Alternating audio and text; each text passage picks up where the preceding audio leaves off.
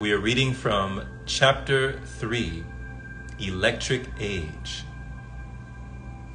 We are carbon based beings living in the carbon cycle here on Earth.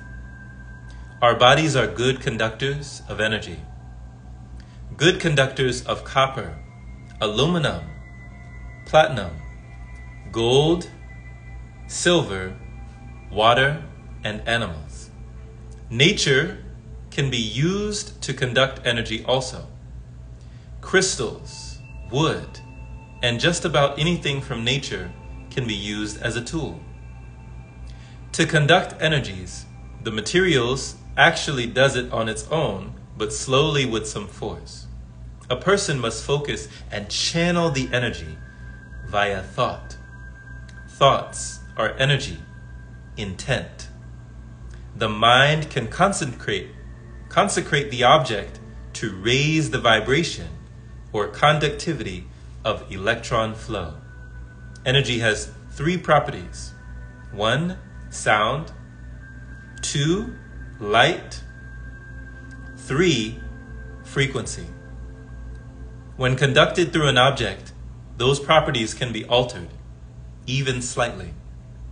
We deal with different these different properties constantly in our daily lives. This is the core region of spirituality, conducting and balancing energy throughout body for health. We'll get deeper into this later. Changes in energy come in six forms mechanical, thermal, electromagnetic, chemical, electrical, electrical, and nuclear. And this is energy all around us.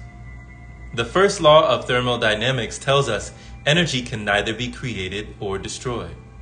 It simply goes from one form to another. Energy, for all of our physical activity, comes from the conversion of high energy phosphates to lower energy phosphates. The cells of the body ultimately the cells of the body ultimately need this energy process to function. It is called ATP resynthesis. Human photosynthesis is taking part and utilizing what the body naturally does in its functions. The cleaner the human body, the higher the energy, because the cells can better practice ATP resynthesis. Through meditation and the different Qigongs, which means energy exercises, the practitioner is charging the body just like a cell phone in the energy matrix we live in. Sleep is unconscious meditation, and meditation is conscious sleep. We're just conduction energy charging the body and mind. Religion comes from spirituality, and ancient spirituality was the technology of that time. And ancient technology was the knowledge of the human being self sufficient.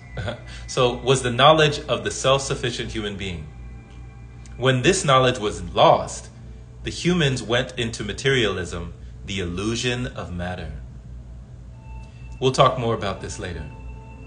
Modern technology is the materialistic version of how to use the electron. The electron is nothing new. It's all about how it's utilized. The same electron that is powering your house appliances is the same electron powering our heart. Let's move on and get a better understanding of the electric universe around us and how to use it. I feel like Neil deGrasse Tyson in our universe. When you look outside there is a cosmic rainstorm taking place. This cosmic radiation is constantly bombarding the earth, both day and night. These energies are coming from our local star, and all the objects in the sky is influencing the wave after wave of radiation affecting all life on earth. I call these alien energies because of their origination from off planet there are so many different alien energies reigning on the earth. Some like the cosmic background radiation is going straight through us. You can't get rid of this process of being affected by the alien energies. It's just the way it is. The next set of energies that affect us are what I call terrestrial energies that come from the waters, the trees, the mountains, etc. The earth has its own frequency that affects us. But the energies are different, depending on where a person lives in the geosphere. Nature, however, gives negative ions, and that is good for health. Negative ions come from rivers, lakes, trees. To make a long story short, the atoms in nature being bombarded by the cosmic alien energies has more negative charged ions. So there's more outside than there is inside. All physical matter has protons and electrons. But what makes good conductors of energy is that the electron can flow through the material a lot faster. So the faster objects are better to use for energy usage. And as I said earlier, the human body is carbon, similar to coal, which is carbon, also graphite, and a diamond. You have diamonds in you. I remember just listening to different motivational speakers. You have greatness in you. You have diamonds in you. Wow. So we're taking it literally now. These are good conductors of energy for electron flow. The electrons behave like waves. The harmonics of the electron can be likened unto music. It's a subatomic particle that has a negative charge, and all physical matter has this subatomic particle. So now it should make sense when in metaphysics, spirituality, and different religions around the world talk about transformations of the body and mind. It is all about the electron. The cosmic alien rain and the terrestrial energy we talked about plays an important role in our transformation, and I hope you're following along and understanding. we now have the third component, which is our own internal energy. That's the energy inside of us that we are born with. This is actually our real personal signature who makes us who we are. The human body radiates at different wavelengths and absorption rates throughout the day and night. These rates of oscillation changes all the time throughout the different seasons and planet alignments. This is called thermal equilibrium. The body does changes because it is part of the big picture of life. So don't let anyone say that you are nothing. Your body is telling a much different story. Back to the internal energy. All the organs of the body have a frequency. And we are constantly transmitting this frequency from our body system, affecting the environment and other organisms. It's kind of like how I remember people talking about the heart and the frequency of the heart, this toroidal field, this toroidal energy that just is constantly around us. And we enter someone else's toroidal field and we can feel that heart connection. It's fascinating.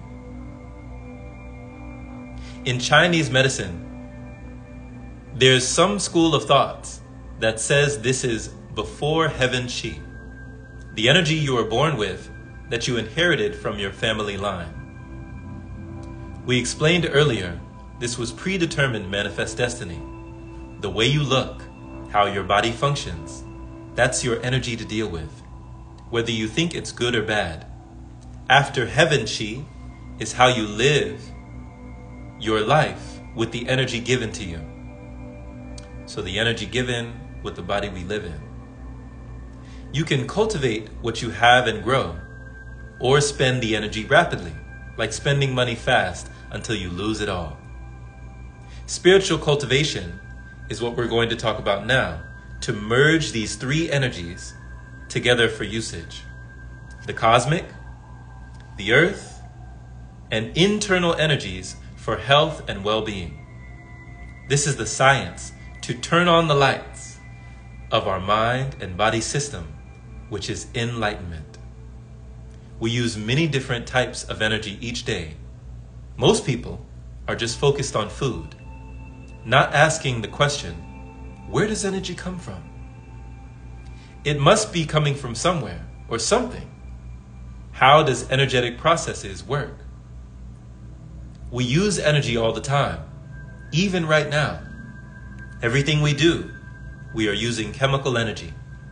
The chemical energy comes from external forces or external sources like food, the air we breathe, and also the sun. When we look at something, we are making use of light energy. And in the past, and even today, when we get a cold and need, or when we get cold and need to get warm, we burn firewood. Today, there's other methods that are used for heat and light. We'll go over these things because the same or similar process will work for human photosynthesis.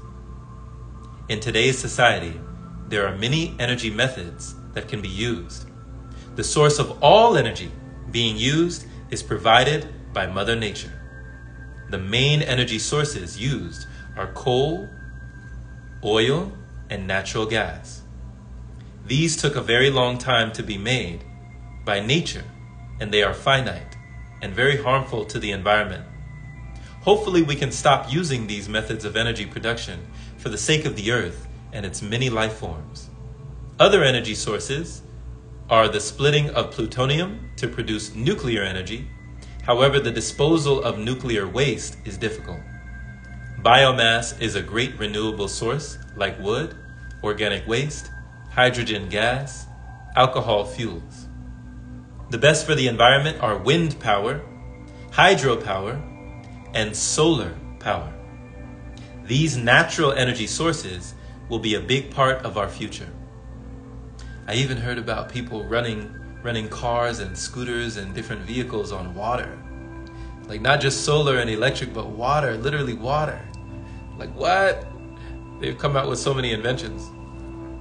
I'm going over all this so the human mind can understand that dealing with energy, there's many different sources at hand, even for the functioning of the body. An energy source by itself will do nothing. For energy to be used, it must undergo a chemical or mechanical process for it to be usable. The human body converts the external energy it receives into chemical energy for usage. Just like the light bulb that lights up in our house, there's a whole process taking place for that electricity to be used in our homes. And the process is similar to our organic bodies. Most electricity in people's homes comes from a thermal plant, which means fossil fuels are mostly used to heat up water to make steam, which powers a turbine to generate electricity. Wow, that's a lot. Magnets spin inside a coil in a generator, creating mechanical energy to electrical energy. As I said earlier, even though most electrical plants or electric plants use fossil fuels for energy, we can use other energy sources. The same for the human being. Instead of eating physical food, the knowledge is now here to use other energy sources for our energy. Our bodies are like generators. And we have the components for energy production. We have the heat inside of use. So the fire is there already for energy production. So we have the heat inside of us, that internal fire, that internal flame, right? To be self sustained, to be maintained by the internal flame. The water or liquids, like blood and lymph, is there circulating. The liquids are being pumped by the heart and cleaned by the fire inside us. The air we breathe is constantly bringing energy to the body in a rhythm. The air has all these precious elements like hydrogen, oxygen, nitrogen, argon, and water. Yes, we breathe water. the next thing is our awesome skin. which is the largest organ we have. It is our first defense that, pro- that protects us in this radiated realm. Also, we'll be amazed how much it does dealing with all these viruses and other organisms. So, our skin is the earth. Fire, water, air, earth. I feel like the Avatar, Last Airbenders up in here.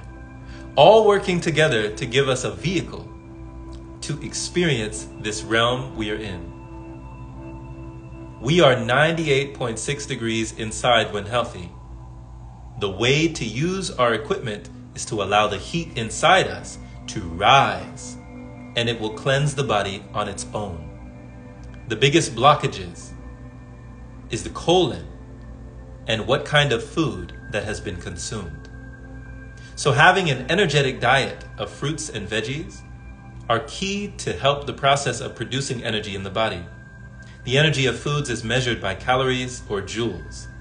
Heat rises on its own, so in meditation, just sitting, lying down, or standing, being relaxed with proper body structure will help.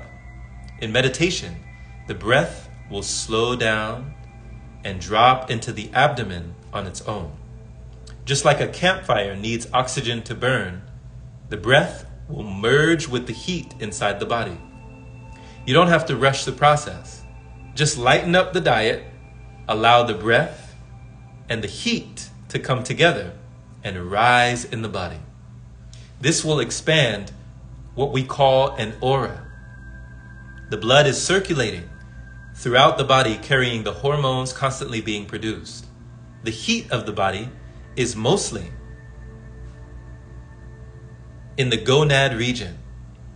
We'll talk more about that soon. This is called the sexual creative force, and it is now being used to heal and energize the body and mind. I've been reading a book along with this that talks about that a lot. It's by Mantak Chia. Mantak Chia. Wow. Super, super fascinating information about sexual energy. The fire, the breath, the water circulation, with a good regulated colon, is the great work. The skin is first and last in the process. The skin is constantly vibrating with the environment around it. It is like a solar panel to the different wavelengths of light. As you are doing the great work of allowing the body to produce energy, the skin will become clear. Getting outside and walking in nature with high negative ion concentrations will really speed up this process. So that concludes chapter 3. Chapter 3 of Human Photosynthesis 101. and we've still just scratched the surface. We have only begun.